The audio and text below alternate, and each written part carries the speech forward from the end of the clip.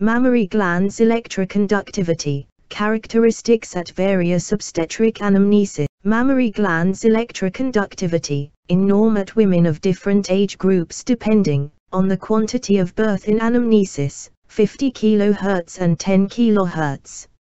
Second scanning level. Mammary glands electroconductivity in norm, at women of different age groups depending on the quantity of birth in anamnesis. 50 kHz and 10 kHz. Second scanning level, plus or minus SD.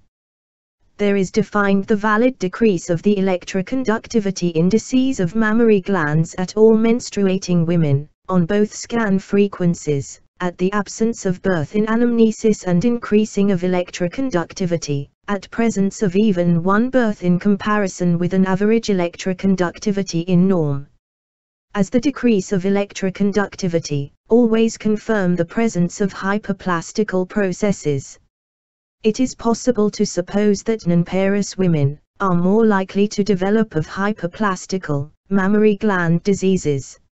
Mammary glands electroconductivity in norm at women of different age groups, depending on the lactation duration in anamnesis 50 kHz and 10 kHz.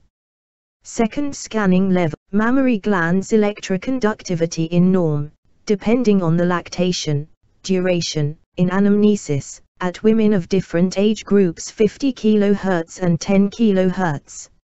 Second scanning level, plus or minus SD. At menstruating, women electroconductivity is statistically validly less in comparison with average indices at the absence of lactation, or at the short time lactation in all groups, and statistically validly higher at lactation more than 12 months. The received data prove that disposition to development of hyperplastic processes in a mammary gland is more often expressed at women with the absence of the lactational period in anamnesis.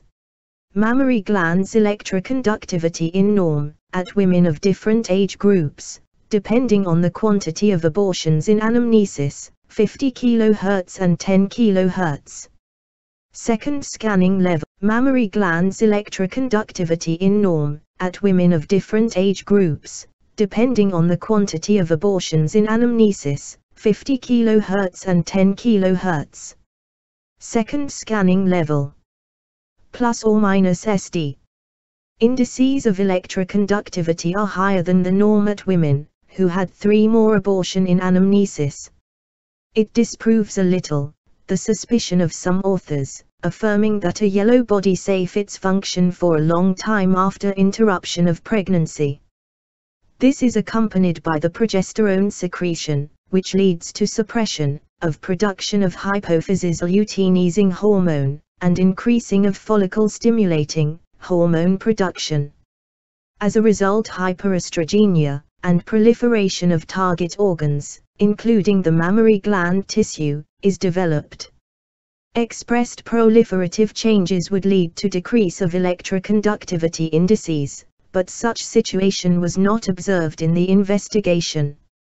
From the other side, changes of breast electroconductivity at women with the large quantity of abortions in anamnesis prove that mammary glands are sensitive to minimal changes of hormonal background and even the short-term pregnancy accelerates involutive changes of glandular tissue, and mammary glands in general.